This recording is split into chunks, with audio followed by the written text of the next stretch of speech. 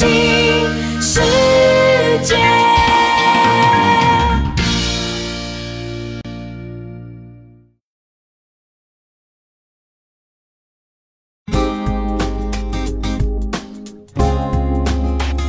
接下来，请收看海涛法师般若讲座。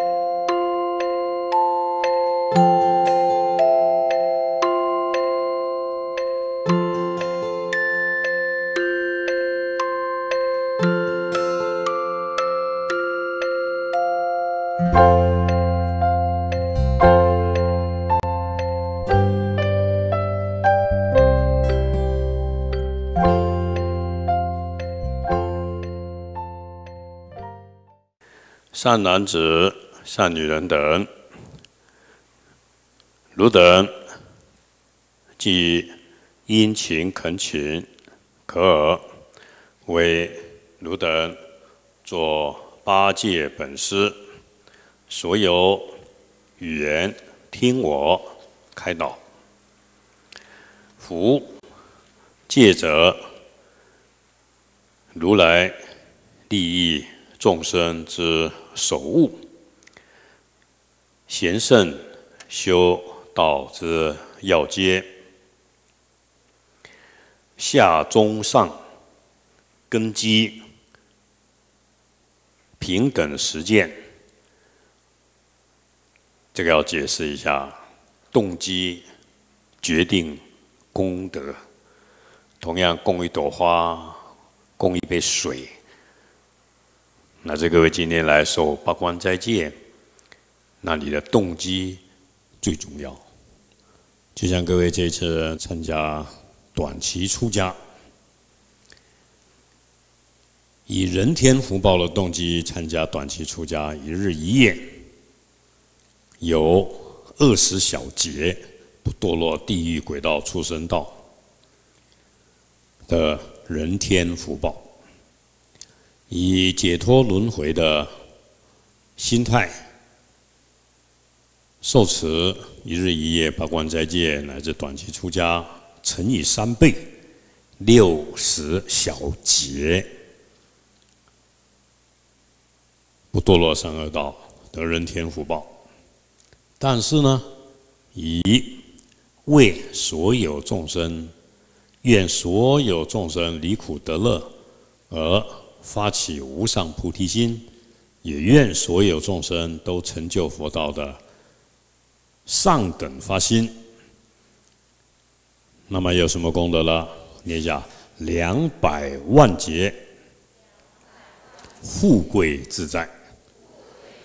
所以让你做世界的首富啊，赚了几百辈子的钱呐，的功德不如一日一夜。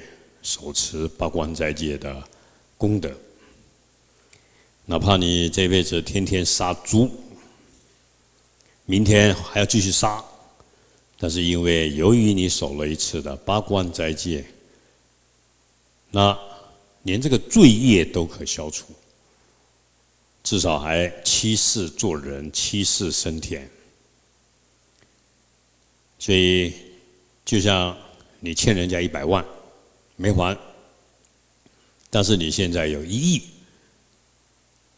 那当然了，你可以慢慢的享受你一亿的福报。当然，这一百万，将来你还是要还。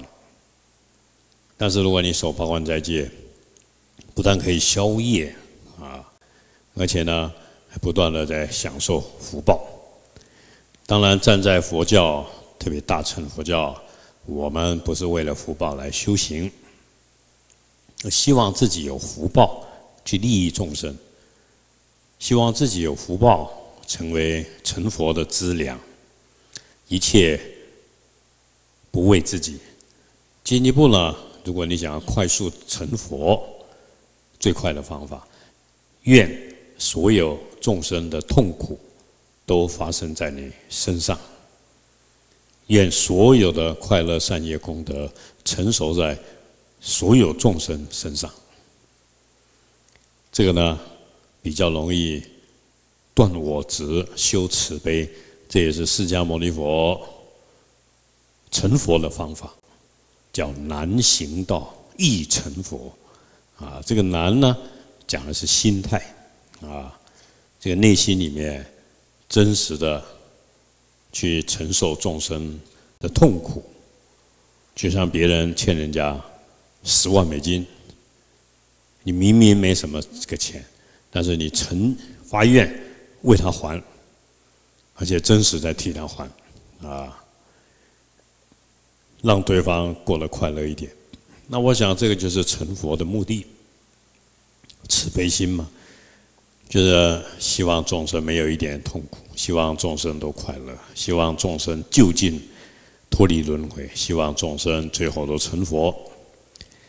那我们修学佛法，各位记住，法门无高下。汉昨天很多居士问我，师父修汉传佛教好，修藏传佛教好？佛法只有一个，对你好最重要。进一步呢，以这个方法去对所有众生好。但是如果你认为藏传佛教好、汉传佛教好，这个分别心就是伤害你。佛没有分别心啊。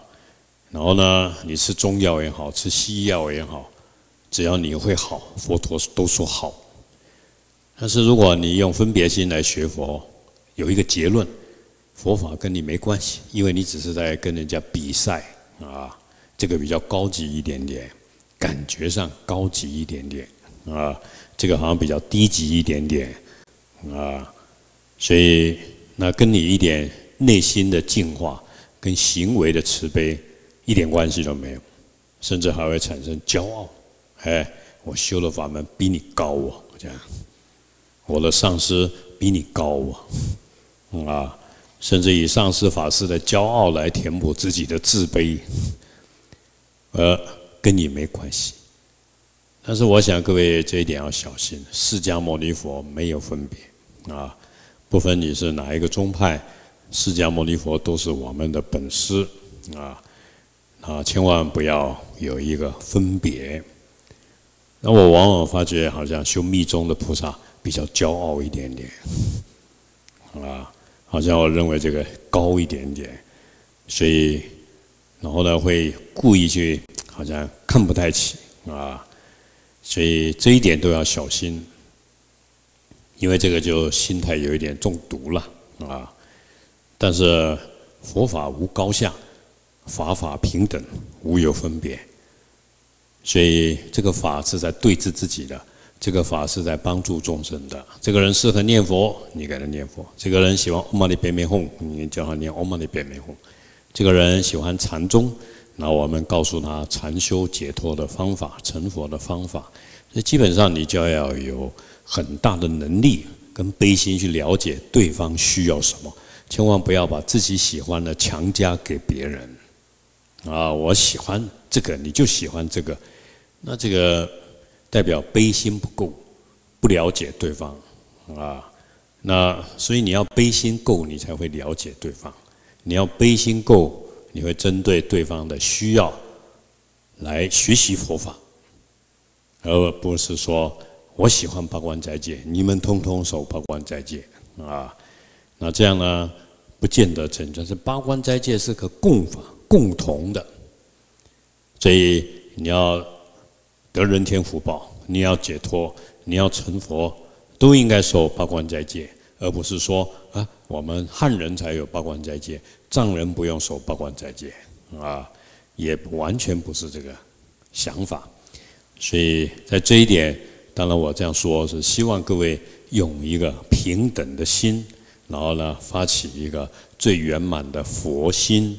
那我们既然学佛了，佛的心就是当愿众生离苦成佛啊，站在众生的立场去学习佛法，所以叫众生无边誓愿度。那你了解所有众生的苦，那每一个众生的烦恼不一样，烦恼无尽誓愿断，然后不一样的众生有不一样的烦恼，所以法门无量誓愿学。哦，那欧美人士喜欢天主基督教，那各位你将来要不要去做神父牧师啊？要啊，用了空性去做神父牧师，啊，用了基督教的方法引导他们升天。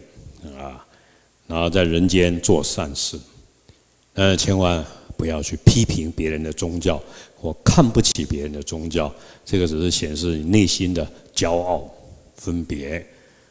那所以一个菩萨他不会这么做啊，所以在这一点，我发现很多人很喜欢把手上带来一大堆，然后说我是密宗的，什么线我都有啊，然后这个。这种人内心是没什么修行的。我大部分这样观察，我是在很努力观察，啊，因为我很想了解，只是觉得说，哇，那当然对这样子，我还是赞叹他，哇，你加持无量啊，因为我要接近他，啊，只是我会觉得说，那就要配合他，就像跟领导讲话要用跟领导的心态讲话，哎，对我们是比较紧张一点。啊，对傲慢的人要以傲慢的方法来来陪他讲话啊。那当然，因为你你要修菩提心，你就要这个安忍忍入啊，完全站在对方了。所以我讲了这么多呢，那各位就是说，这些都是众生的苦啊，这个世界真是苦啊。所以，那我们大家守八关斋戒。就算他是出家人，出家人也有痛苦哎，对不对？然后呢，不分哪一个宗派，不分哪一个宗教，他们的苦都是我们心中的痛，而不是一种漠不关心，或是看不起，或是排斥。所以各位，这个要扪心自问啊，这你的先生外面有外遇，对不起你，可不可以恨他？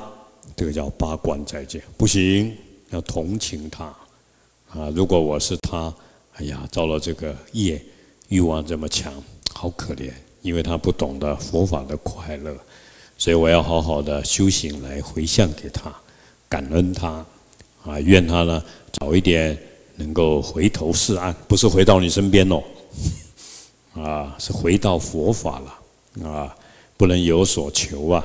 所以不但对他这样，哎呀，对伤害你感情的另外一个女生呢，破坏你家庭的。这位人呢，更是同情他，因为呢，你就是他啊。为什么你会遭受这个业报？因为你过去做了同样的事，那现在他正在做你过去是所做的痛苦，所以要有这种平等，感受到对方的苦，自他平等，自他交换，不但不会怪罪他，还会牵着他的手说：“我关心你，因为你这样。”会伤害到你自己，不是伤害我，啊，因为你就像我的女儿一样，比我年轻漂亮嘛，所以各位这个叫修行，啊，修行就是时时刻刻体贴这样的心态了，贴近众生的苦，然后这样来修，所以我们守八关斋戒也好，念佛诵经，那各位要一直这样，一直这样想，啊，所以。那一只火鸡怎么办？昨天我看到火鸡，天上的鸟怎么办？河里面的鱼怎么办？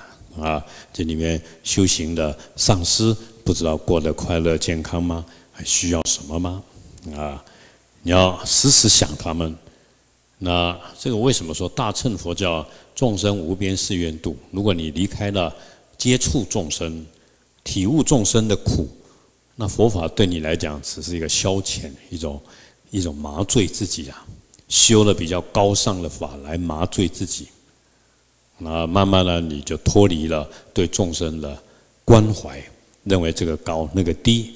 事实上呢，因为很多生命很痛苦啊，所以大乘佛教，就我来讲，因为我今年今天过生日啊，意思说越来越老了。但是我觉得我对佛法体悟很好，原来啊，佛法是来自于这个生命的历练。对其他生命的关怀啊，所以那